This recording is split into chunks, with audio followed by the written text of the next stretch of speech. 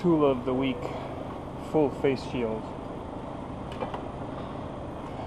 I've been using stuff like this for the longest time, but what happens when you wear especially when grinding, pieces bounce off of the grinder and they go up underneath the glasses.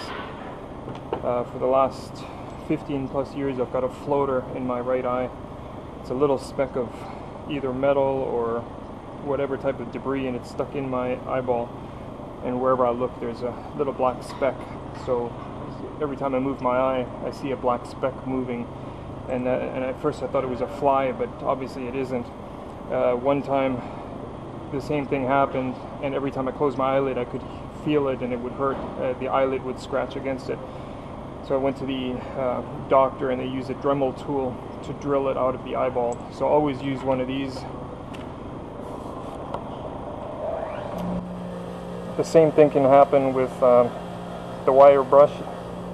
A small piece of wire brush breaks off and it comes flying at your face.